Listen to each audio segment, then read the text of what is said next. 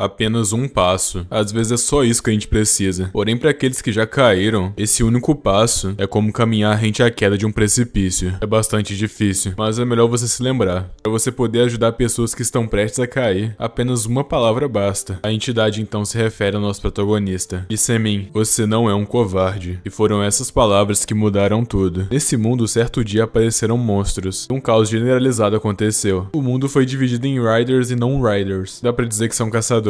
Porém, pro nosso protagonista é diferente. Passamos a um prédio, apartamento de caça. Parece que chegou a vez do nosso protagonista. As atendentes já falam que ele já pode entrar. Um pouco inseguro e ansioso, ele fala: beleza, ele vai entrar agora. Basicamente, Rider também podem ser chamados de despertados. Para você se tornar um, você primeiro tem que passar pelo julgamento. E dependendo da sua aura, você é qualificado. E aparentemente é o dia do nosso prota. Ele vai medir a aura dele para ver se ele é uma pessoa qualificada. É uma mulher esperando por ele. A mulher fala que parece que não é a primeira vez que ele tá ali, né? Já que ele fez esse teste bastante vezes, ela vai pular as introduções. A mulher complementa falando que parece que ano que vem ele vai servir o exército, né? Então por causa disso eles não podem adiar por mais tempo, né? E ela entende a situação dele. E então ela decide dar um conselho para ele. Ele não pode ficar nessa aí para sempre. Nosso prota fala que hoje ele apenas vai fazer o teste e ir embora. Ela fala que tudo bem, entendeu? Mas é pra ele se lembrar que ele vai alistar no próximo ano. E então, enfim, os testes vão começar, família. E a doutora fala que o número foi 103. Continua o mesmo do ano passado. Basicamente, 103 é um número muito baixo. Geralmente, por mais que você não seja qualificado, o número tende a subir gradualmente. Mas o do nosso prota continua o mesmo. Isso deixa ele bastante triste. Talvez ele possa até sentir que é o patinho feio. A doutora fala que tá feito. E é só ele assinar o papel aqui. Ele decide agradecer. Por mais que ele tenha sido desencorajado, nosso menino ainda é um cara bastante educado. A realidade é muito dura. O tempo se passa e ele decide voltar para casa. Não tanto quanto bagunçada a casinha dele, né? E ele pensa que tá na hora de jogar uns games, já que infelizmente ele não conseguiu passar no teste de novo. Que saco, cara. E ao mesmo tempo ele percebe algo esquisito. Os requisitos qualificatórios foram confirmados. Essa é a notificação que apareceu para ele. Ele pergunta o que é isso? Internet transcendental. Que raios é isso? No momento que ele clica, ele entra num site um tanto quanto suspeito. E nada mais é do que uma espécie de fórum pessoas com o nome de Grande Mago, Lorde Dragão. E se pergunta o que é isso? Que idiotice. Será que essa rapaziada ainda tá com a síndrome do ensino médio? Será que eles precisam de um empurrãozinho pra voltar à realidade? Ele real começa a trocar ideia com a rapaziada, pô. E depois dá até uma zoada nos caras, falando pra ele sair do porão. Então ele decide ver as notícias, né? Parece que o caçador Sung evoluiu de ouro pra platina. O nosso prota já fica meio em choque. Ele conhece o cara desse noticiário. Cada comentário positivo que ele recebe é como se o nosso menino tivesse levando um soco soco na cara. Que piada, né? Já que dia após dia no ensino médio, esse idiota batia nele e o zoava sem perdão. E agora ele é platina. Isso é muito frustrante. Ele pensa consigo mesmo que isso não é justo. Tudo isso tá errado. Nada faz sentido. E a única coisa que ele consegue imaginar de si mesmo é que ele é um perdedor. Ele saiu da escola porque ele queria se tornar um caçador. E nem isso ele conseguiu. Ele só queria se qualificar. Qualificação confirmada. Foi isso que apareceu na tela do PC dele. Ele fica se perguntando o que é isso agora? Outro pop-up? E o nosso prota começa a conversar de novo com aquele pessoal. E o maluco fala que tinha mais de 140 anos, mano. O cara que ele tá conversando realmente acha que é um personagem de anime, velho. Olha a cara do Prota, velho. E a galera do chat acha muito engraçada a ousadia do Prota. Vai até gastar uns pontinhos nele. Parece que é aquele conceito que a gente viu em Omnisciente Rid, família. Entidades que estão observando a rapaziada. O Prota continua sem acreditar. Porém, do nada, alguma coisa tá acontecendo atrás dele. E ele lá, todo bobão, falando que vai encontrar com esses caras. O portal tá se abrindo atrás dele ainda. O que será que aconteceria se eles se encontrassem? Entretanto, finalmente ele percebe que que isso que tá acontecendo? Uma mulher? Como assim? Então você é o mendigo Lissemin, né? É isso que a mulher pergunta. Ele fica totalmente em choque, ele não tá acreditando no que ele tá vendo. Atrás daquele portal tem uma maga. Que raios é isso? Ela enfim toca o chão. Começa a falar que veio ver que tipo de cara é ele. E aí, quem é você? A maga então decide sair do portal e decide entrar no quarto do nosso menino. Ele começa a gritar, mano, tipo, que isso, mulher? Que medo. Então do nada uma magia vai em sua direção e já fica em volta a ele, o agarrando no processo. E a maga fala pra ele ficar suave. Para de se debater. Bom, e ele então fica suave, né? Que escolha ele tem. Ela fica meio, ué, por que, que você é tão fraco? Ele fica implorando pra ela soltar ele. Você é tão forte quanto uma mosca. Como que você conseguiu usar a internet transcendental? Ela vira ele e decide perguntar um negócio. Qual que é a identidade dele? E o Prota fala que vai contar a verdade. Só que ela tem que soltar ele primeiro, né? Ah, é mesmo? Então ela desfaz a magia. Ele cai no chão igual um pedaço de pão, velho. O durão. Ele pergunta, quem é você? Ela responde que ela, ela é Iana. Ele tava falando pra caramba mais cedo no chat E ainda pergunta se ele não tava mentindo sobre ser um caçador, né? Ele fala que não, pô, imagina. Mas meio que assim, ele vai se tornar um algum dia, né? Ou algo do tipo. Eu já fico meio bolada. É verdade ou não? Ele começa a explicar para ela o que é um conceito de caçador nesse mundo. Ele é um despertado, ele tem aura. E ela fala, sério? Então mostra aí sua aura pro povo. E ele então começa a sintonizar. Uou, ele realmente tem aura, hein? E a Maga ali sentada só observando. E, enfim, acabou a demonstração. É bem... É só isso aí, mano. Ela tá full decepcionada, tá ligado? É. Sim? Meu Deus do céu, família. Onde a maga foi se enfiar, velho. Ela ainda complementa que ele só pode estar tá de brincadeira, né? Tudo então começa a tremer. As coisas começam a cair. E uma magia de fúria é imposta. A fúria de ter sido enganada. Um poder avassalador. O nosso prota tá tipo, ferrou, né? Esse poder que ele acaba de presenciar. Esse gigante poder transcende até o que pode ser chamado de monstro. É realmente medonho. E a grande maga fala: Você. E ele começa a pedir desculpas desculpas. Não foi a intenção ofendê-la. Será que é o fim dele agora? Porém, do nada alguém começa a chamar ele. Alô, K203. Está bem? Parece que rolou um terremoto aqui embaixo. Ah, eu tô bem. Que situação, hein, família? Que raio está rolando, velho? Visivelmente decepcionada, a maga fica tipo, eu gastei meus preciosos pontos nesse cara perdedor, velho. E então ela decide perguntar de novo. Como um cara como ele conseguiu acesso à internet transcendental, velho? Só que ele não faz ideia de como. Ele só abriu o laptop dele e do nada. Que laptop, mano? Aquela parada ali que tá em cima da mesa, velho. Ela fala que isso é muito estranho. E pede pra ele continuar explicando. Só que ele responde não tem muito mais o que explicar, né? Ela fala que tá bom. Agora é pra ele explicar um pouco mais sobre ele mesmo. Ele responde que ele não tem muito para contar, sabe? Ele realmente não acha que tem nada de especial assim. A maga tá realmente intrigada. E então no final quer dizer que você tá vivendo nessa pocilga aqui. Que patético. É, ele sabe. Porém, infelizmente, não tem muito mais o que ele fazer. Ele também não gosta disso. Porém, ela fala algo. Mas ainda assim, você deve ter tentado, né? Ele não esperava por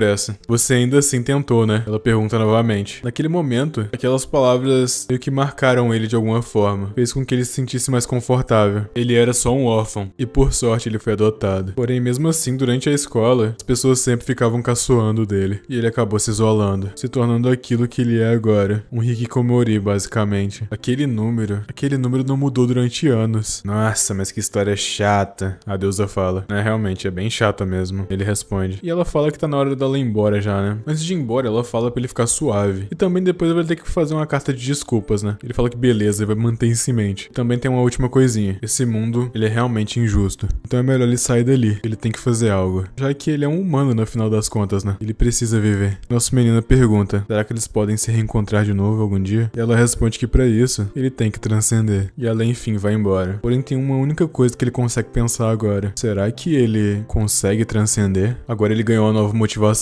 Ele decide escrever a carta de desculpas dele. E assim, à medida que o tempo passava, frequentar aquele fórum de deuses até que se tornou bastante divertido. Ele tá até trocando ideias sobre as fotos que a rapaziada fica mandando lá. Um cavaleiro muito brabo, o guerreiro mais forte do continente. Tá lá mostrando uma foto da família dele, uma felizão. Também temos o mestre das espadas mais forte, número 1 um do continente, Perzen. E do nada ele começa a pedir conselho pro Prota. Ele tava afim de uma garota, mas ele tem vergonha, né? Ele até chama o Prota de irmão, sendo que eles nem são tão próximos o suficiente, sabe? Realmente começa a dar conselho pro cara, velho. Montando toda uma historinha também. Ele fica super agradecido com o conselho. Definitivamente ele vai tirar algum dia para poder visitar ele. Prota falou que beleza, vai esperar por isso. Quem diria que o nosso Prota virou um amigo das entidades, hein? Nem ele mesmo tá acreditando. Porém, enquanto ele interagiu com essa rapaziada, ele percebeu uma coisa. Uma característica comum. Proatividade. Eles nunca procrastinam. Eles sempre estão fazendo alguma coisa. Sempre fazendo promessas para si mesmos. E nunca correm dos seus deveres. Porém, diferente deles, a realidade do nosso Prota não é tão bacana. Ele começa a lacrimejar, ele tem que admitir. Alguém como ele não consegue se tornar um caçador. Ele decide ir pra geladeira e pegar um Guaraná. Afogar as mágoas com refrigerante, né, rapaziada? Dá um tibum na cama e fica pensando na vida, hein? Se vai ser tudo assim, não deveria ter me dado aquela esperança em primeiro lugar. Se tornar um caçador, algo que ele sempre sonhou, mas acabou estagnado. Ele queria provar para si mesmo que não foi um erro aquela escolha. Mas quando ele olha para trás, parece que não faz sentido mais. Ele tenta ao máximo alcançar, mas parece que cada vez fica mais longe. Mas depois que a aura ficou 103, já é a sexta vez, o sexto ano que continua assim. E agora ele não consegue nem levantar da cama, velho. Ele decide voltar pro fórum. Ele decide fazer um post. Ele realmente quer mudar. Meio às lágrimas, ele continua postando. E acaba capotando em cima da mesa mesmo. O tempo se passa ele acorda. Espera aí, parando pra pensar, ele acabou escrevendo umas coisas bem constrangedoras lá, né? No momento que ele vai dar uma olhada. Pera aí, ué?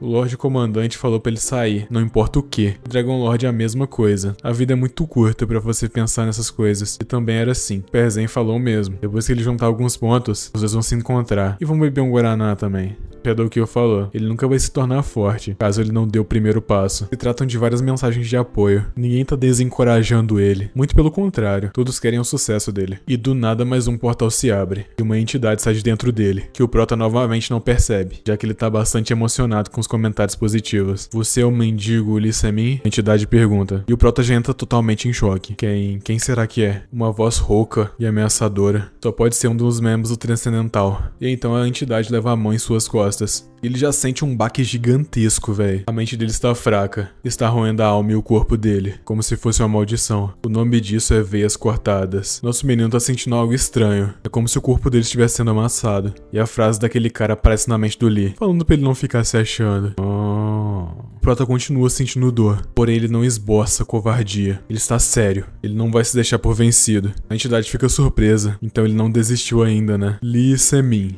Esse definitivamente é um bom nome. E do nada os dois vão parar em outro local. O Lee pergunta onde é que ele tá. A entidade fala: Eu sou o Sheona, o maior artista marcial da história. E você, você não é um covarde. Foi nesse momento e com essas palavras o fogo da esperança acendeu no coração do nosso menino. Nosso menino continua encarando ele. A Liana era realmente poderosa, mas esse cara tem algo nele que é diferente. Sheona fala: Ele gastou os pontos para preparar algo justamente pro Lee. Porém o Lee pede para esperar. O que ele quer dizer com isso? Porém antes dele ter sua resposta, ele já é teleportado de novo pro quarto dele e cai no chão de novo. Ele fica se perguntando se isso é um sonho, porém tem uma marca no braço dele. Se isso aqui tá doendo, quer dizer que aquilo não foi um sonho. As palavras você não é um covarde continuam ressoando na mente dele. Tipo, depois daquilo, a mente dele começou até a ficar um pouco mais leve. Será que ele tem que limpar o quarto depois de um tempinho? Ele tá se sentindo melhor. Ao ponto de até terminar de arrumar o quarto dele inteiro, velho. O trabalho tá feito. Tem algo realmente diferente com ele. Ele tem disposição. A única coisa que ele tem que arrumar agora é ele mesmo. E ele tinha um objetivo, não tinha? Ele tem que se lembrar daquelas palavras e decide que chegou a hora de deixar o seu quarto. Afinal de contas, ele não é um covarde, né? Bota pra ele se empanturrando de comida já, família. Ele correu só alguns minutos e já ficou lotado de fome, velho. Mas isso não é o certo a se fazer, ele pensa. Ele vai tentar mais uma vez e volta a correr. Não vai ser tão simples. Ele pensa que talvez ele precisa de uma ajudinha. Talvez ele precise de um treinador. Chegando lá, ele pede licença. Ele surpreende com uma coisa. Pezinho é brabo mesmo, tá? Olha o tanto de peso que o cara tá levantando. Ele fica completamente impressionado, velho. Do nada outra pessoa aborda ele, falando que nunca viu ele por ali. Ele tá ali para trabalhar? Prazer conhecer ele. Ele é o treinador Delkbai. E o nosso menino também se apresenta. O treinador já fala que já imagina por que ele tá ali. Ele tá sentindo o cheiro. Você acabou de comer frango, não foi? Ixi, descobriu. E o nosso prato é lido como um livro. Ele até decide pedir desculpas. Mas o treinador também percebe. Parece que ele tem uns musculozinhos escondidos aí. Parece que ele já praticou exercícios antes. Nosso prato responde. No passado, sim. Então, beleza. O treinador fala que os dois vão trabalhar juntos, sem descanso. E então a jornada do nosso prota começa. Ele quer ficar cada vez mais forte. E o treinador continua pegando firme. Ele não vai dar trégua nenhuma pro nosso protagonista. O cara tá quase indo de arrasta, família. Ele vai continuar. Ele tem um objetivo afinal. Ele vai ganhar confiança e ele vai aumentar a aura dele. E assim ele finalmente vai ser digno. O treinador já fica mó animado. O tempo se passa, ele já pensou que ele é de arrasta, velho. O velho já fala: Você é realmente um jovem cheio de futuro. E ele agradece. Chegando em casa, ele entra no fórum de novo. Ele lembra que aquele artista marcial pediu pro Prota checar um negócio. No momento que ele vai checar, ele vê que o acesso foi negado. Ele precisa de pontos.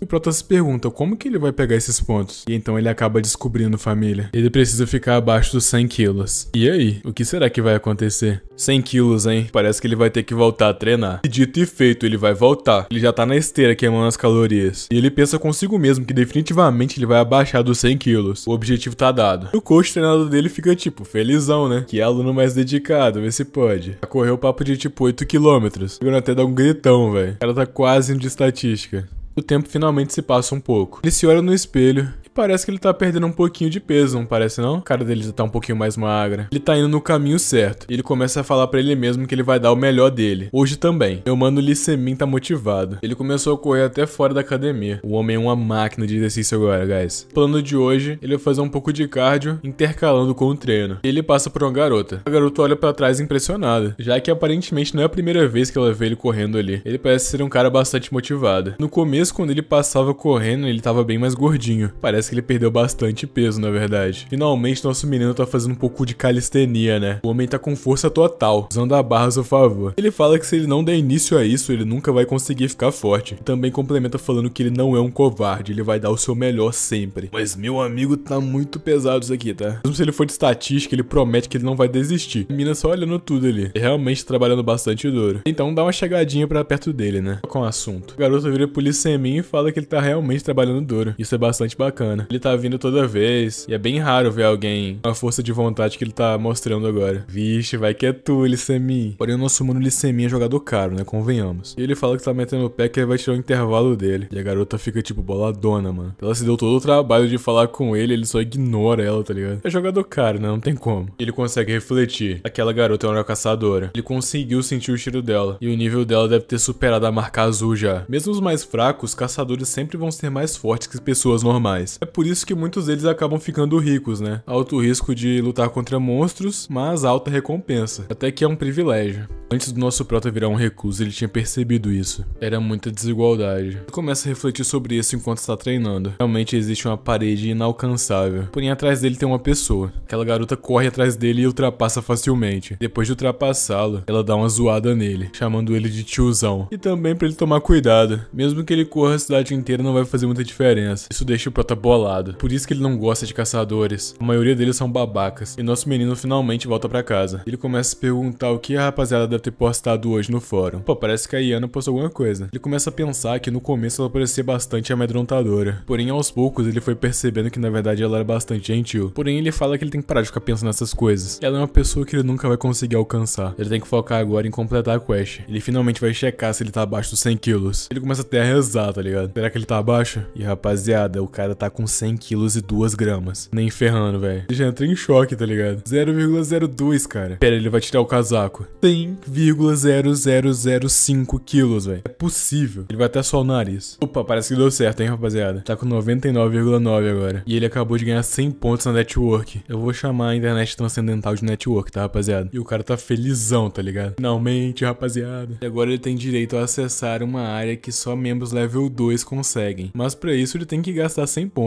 né? E aí, ele vai gastar? Ele responde que sim, é claro que ele vai gastar. E finalmente ele desbloqueou uma nova área. E lá tem várias coisas interessantes que ele fica tipo, uau. E nessa nova área tem três regrinhas. Pra você ler um post de alguém, você tem que gastar 100 pontos. Pra você postar é 200 pontos. E ele vai receber 10 pontos por cada view no post que ele postou. E lá ele já dá uma olhada no post da Iana, né? Toda apaixonada de nosso prota, tá? Tem aparece uma notificação pra ele. Em comemoração ao primeiro acesso dele nessa network, ele pode ler um post sem pagar. E então ele decide ler aquele. O post que aquele grande artista marcial fez exclusivamente pro Lissemin. Ele vai checar. No momento que ele checa, rapaziada, ele adquire um conhecimento que ele nunca imaginou ter. Você não conquista uma aura. Ele vai aprender a cultivar ela. Ele fica meio que sem palavras. Cultivar uma aura primordial. Ele tá aprendendo conceitos que ele não imaginava. Foi essa habilidade que o grande artista marcial Sheoma deu para ele. Ele vai conseguir cultivar essa aura. E no momento, a única coisa que o nosso prota pensa é em se curvar e agradecer essa oportunidade que ele recebeu. O nome da skill é Fluxo do Taijutsu. Nosso prota pensa que até agora ele sempre pensou que a aura era algo para ser dominado e conquistado. Porém, o Sheoma a tratava como se ela fosse uma forma de vida separada. E isso emociona o nosso protagonista. Então essa era a resposta. Tudo faz sentido agora para ele. O tempo se passa. E dito e feito, ele tá cultivando agora. Uma aura azul está ao seu redor. Porém, Jesus, ele tá cansadão, tá? Porém, parece que agora com isso ele pode escapar daquela situação. E ele vai continuar meditando quantas vezes ele conseguir. Fluxo de chakra está em seu corpo, passando pelos canais, indo em direção ao seu peito. Ele pensa que ele tem que continuar mantendo o foco. Exatamente como o Shioma contou para ele. Como se fosse uma maré. Ele vai continuar mantendo o foco. Ele se concentrar nesse ponto onde a aura circulada dele tá travada. Ele vai conseguir quebrar isso. Será que deu certo? Ele realmente tá exausto. Mas tem outra coisa. Parece que ele finalmente conseguiu. Nosso prota quebrou a barreira que limitava ele. Ele já tá bastante magro, inclusive. Até cai para trás de emoção. Imersa felicidade, ele pensa uma coisa. Parece que ele finalmente vai conseguir ficar mais forte. E aí, o que será que vai acontecer? Dá like, segue e comenta. Caso queira parte 2. Sério, dá muito trabalho. Então conto com vocês.